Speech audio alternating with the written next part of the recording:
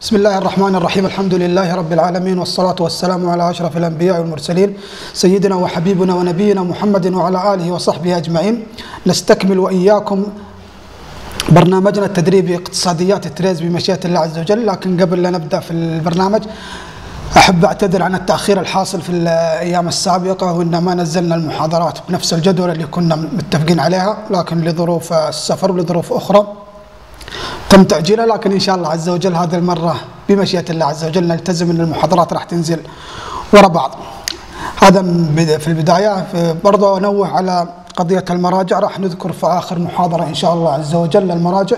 مع الأخذ في الاعتبار أنه كانت المحاضرة الأولى كاملها من مرجعها كتاب من من كيمياء الدماغ إلى كيمياء الإبداع للدكتور باسل عبد الجليل.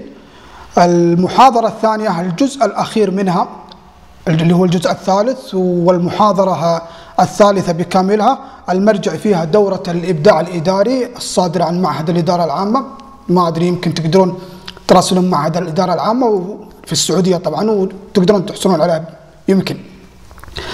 الحصول على العرض بعض الزملاء المتدربين والمتدربات الكرام قالوا نبغى العرض حق ال PowerPoint. هذا مرحلة لاحقا إن شاء الله عز وجل نشوف إيش الآلية اللي نقدر نفيدكم فيها ونقدر نوصل العرض لكم. إن أمكن ذلك لأن فيه حقوق ملكية زي معهد الإدارة العامة حق ملكي للدكتور باسل عبد الجليل. فما نقدر نتجاوز هذه الحقوق.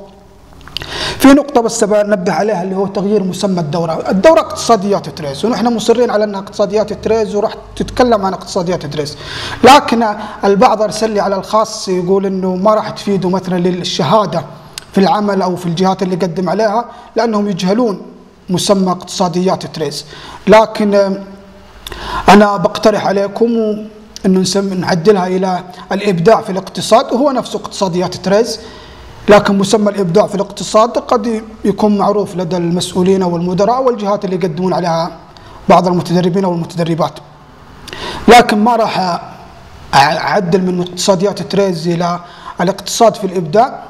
إلا بعد نزول هذه المحاضرة بعشر أيام بحيث إنه أي أحد عنده اعتراض يحق له يرسل لي اعتراض ولو شخص واحد اعترض راح يبقى مسمى الدورة اقتصاديات تريز وعلى بركة الله نبدأ برنامجنا التدريبي.